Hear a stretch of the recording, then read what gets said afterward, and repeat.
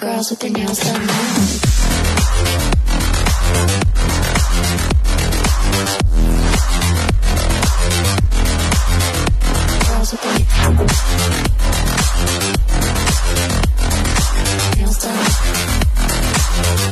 Girls with their nails done.